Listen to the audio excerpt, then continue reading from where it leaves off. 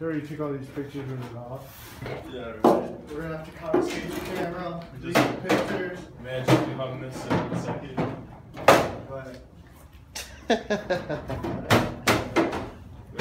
Alright, cool. Shit. Alright, Mike.